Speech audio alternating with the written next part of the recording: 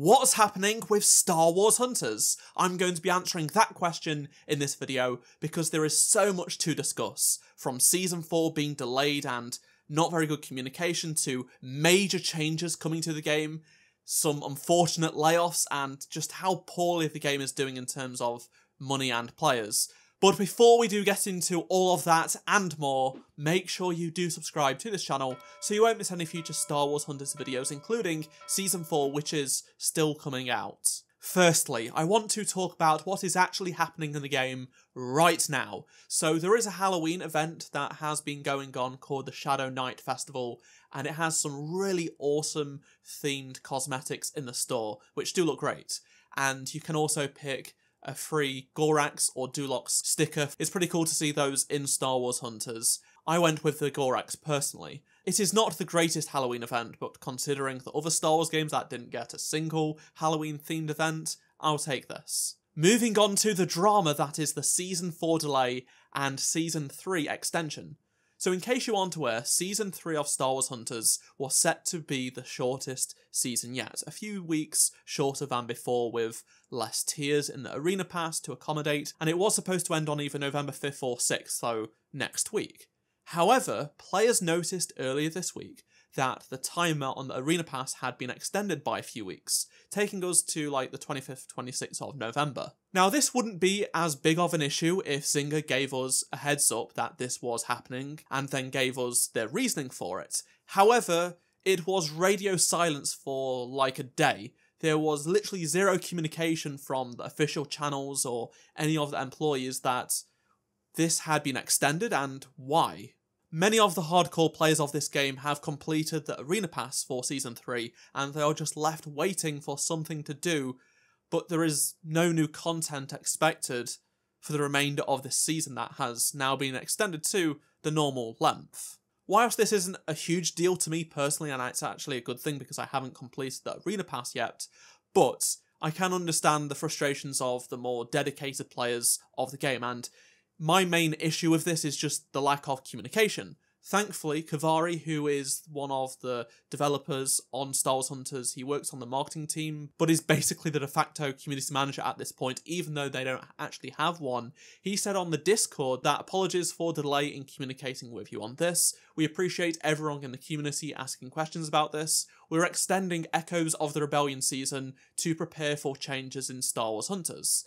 The Arena Pass and Rank season will remain active during this time, and new events will be added to the schedule. We'll be doing our best to answer your questions on this. So great that it gives more people time to complete the Arena Pass and rank up in Ranked, which is certainly what I'm going to be doing as well. And there are changes coming to the game, and that's the reason why they are delaying it that's totally fine, understandable, but the lack of communication just is not good enough. And this is a message from one employee in the Discord server. It wasn't announced in the game, it wasn't announced on Twitter or Instagram or wherever. It's just so frustrating because the communication for this game has always been poor. The official Star Wars Hunters account on Discord did actually put out a post saying they have extended it and they're extending it for those changes and stuff like that. Basically, a copy paste of what Kavari did say. Now, the official Star Wars Hunters Twitter account did not make a main tweet about this extension, but they have been responding to people saying that we are sorry for any mix up about the Echoes of Rebellion being extended. This decision is important for ensuring a smooth transition for the upcoming changes in the game. During this period, both the Arena Pass and Rank Season will remain active, blah, blah, blah. So the question remains what are these changes they are talking about? They're obviously big enough for them to delay a new season, right? Now, it could be something on the developer side of things, something that we may not necessarily see front and center to start off with, or it could be some significant mechanic changes, things like that, that we will actually notice.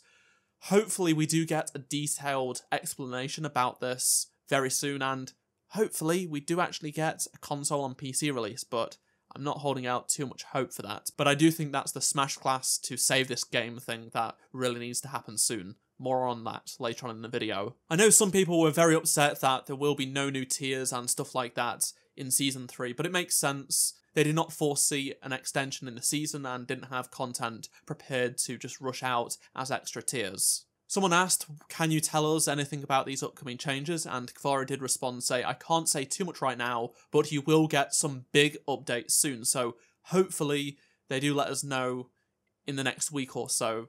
I really hope it's as soon as possible so they've got time to give us the information and we can potentially give our feedback on it before it just suddenly drops in season 4. But just another mark on the communication front is the Twitter account because it is active, but it's an AI, basically, I'm pretty sure, because there was this tweet about Vader's Castle, just a generic tweet about Vader's Castle, nothing to do with the game, and the official Star Wars Hunters account responded to it saying, Right now, we have yet to receive any updates regarding its return to the game. Rest assured, we'll forward your feedback to the developers. What? Like, uh, why? What? This is just embarrassing. It's just embarrassing for a game that has been embarrassed by communication problems since its inception. I've been rooting for this game and this team, but Zynga, who are just doing things their way, the mobile way, they don't realize that a lot of their audience, I think, are actual Star Wars gaming console and PC players that aren't used to this level of incompetency. In regards to the next hunter, someone did ask Kavari about them, and he said, Stay tuned for updates on this. We're working on some really cool things and can't wait to share with you all. So I'm excited about that. I hope it's a different type of rollout with more content and potentially behind the scenes stuff like they did with Char all the way back earlier this year. So please give us more stuff like that. It's really awesome. So you're probably wondering, do we have any indication what this new hunter is? Because they are all really cool characters, and I'm excited to find out who is next. Well, there have been two hunters that have been leaked thanks to the Star Wars Hunters Leaks Discord for finding them out.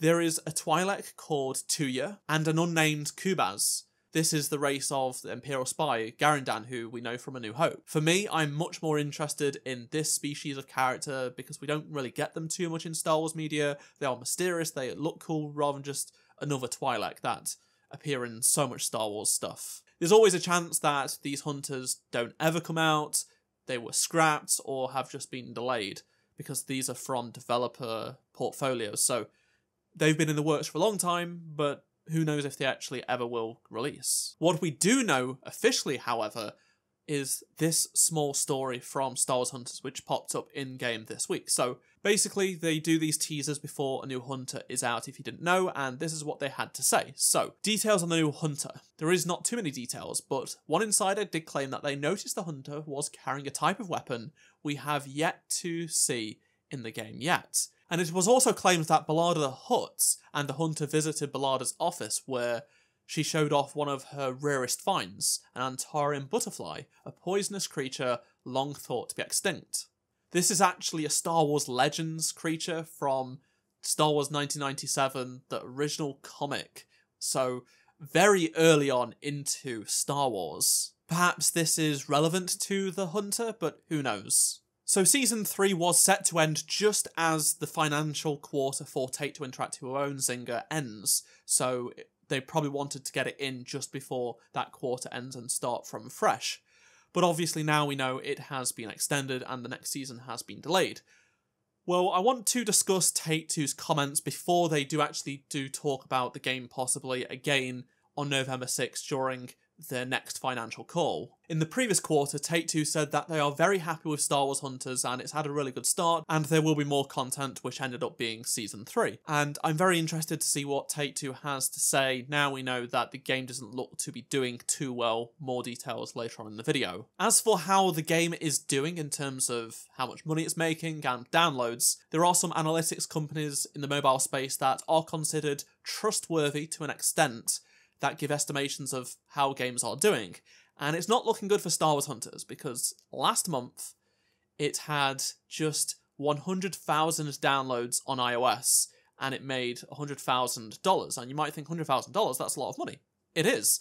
But in comparison to Zynga's other titles, it is nothing. For example, a game that had the same amount of downloads earned 500,000, whereas the other titles made millions and had, again, just add a few hundred thousand downloads. Now that's on the iOS side. What about the Android side? And It's even worse. There was just 30,000 downloads with $50,000 made. Now, if you look at the other titles, yes, some of them are slot machine casinos, which is not good.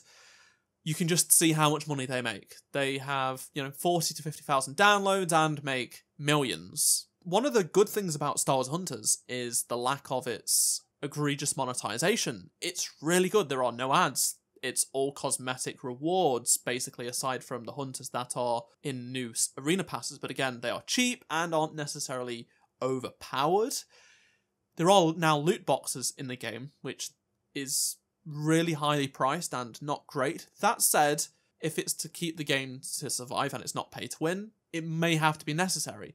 But look at what it's competing against. Other mobile games that are just simply gambling, which is just bad. Now, those aren't Star Wars titles, right? But let's talk about the biggest Star Wars mobile game, Star Wars Galaxy of Heroes, which is on a big trajectory downwards right now. It's making a lot less money than it did a couple of years ago, but it's still making millions because just last month it made $2 million on iOS for EA with 200,000 new downloads. So even though this game is actually declining in money made, it's still got 200,000 installs last month and this is sort of in the region of other EA titles as well, which are just raking in money. Of course, these are mostly just estimates, but have been trusted by many people in the industry to be decently accurate. Not always accurate and spot on, but there is something to be said there. One thing to remember here is that there is no Nintendo Switch numbers for how many people are playing it and how many people have spent money on it, though it's not really in the top charts on Nintendo Switch and I just get the feeling the kind of people playing a free to play game on the Nintendo Switch aren't willing to put up money as opposed to those playing on mobile. The Switch is more of a family game sort of system with children playing on it as opposed to people that are spending the money on the Discord server and stuff like that. So unfortunately there has been some layoffs at Zynga. So specifically Natural Motion. So Natural Motion is the company that own Boss Alien, and Boss Alien are who actually make Star Wars Hunters. And Natural Motion only opened up a new Birmingham-based studio this year, and it's being completely shut down already in just a few months. So Zynga are doing some cost cutting because Take Two have asked them to do some cost cutting because they're cutting various jobs here and there. And it's just such a shame that a brand new studio has just been shut down, even if it was a small one, a support studio for CSR2 and probably Star Wars Hunters. According to AppMagic, Star Wars Hunters has had about 4.3 million downloads so far and just 2.4 million revenue minus the 30% platform fees. Zynga did confirm that yes, the studio was shut down and all the corporate speak that they're trying to align future development goals, stuff like that. But in reality, it's never good when people get laid off in this industry, and it's happened so much in the past year and two. It's very sad to see. We do know that some people who worked on Star Wars Hunters were laid off, at least, for example, this QA lead.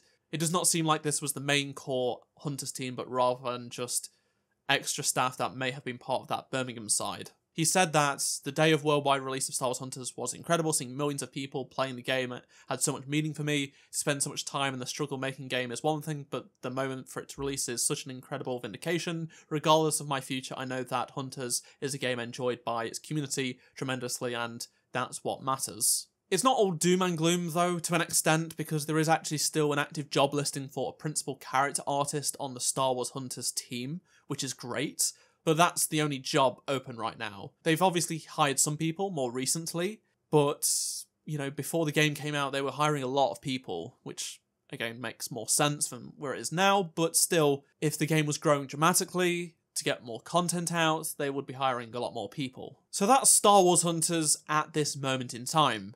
It's not going great, but it deserves a lot of love because the game is made with quite a bit of love the cosmetics, the lore, the deep cuts is really, really good. Like, they've done stuff that we've not seen before, and it's really, really sad if this game's get shut down because there is no way of preserving all of this stuff. We're just going to lose so much of this awesome content, and that is going to be a real shame because a lot of effort is going into this game, but it doesn't seem like they know how to actually market this game.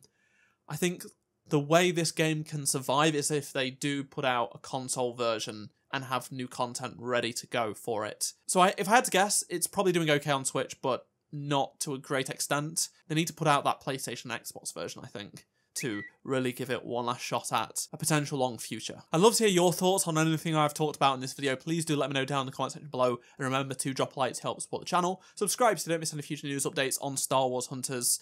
And stay tuned for season four, which is going to be dropping soon, and I'm looking forward to seeing what it is going to be themed around. Click on the playlist if you missed any of my previous videos, and I shall see you in my next video. Goodbye.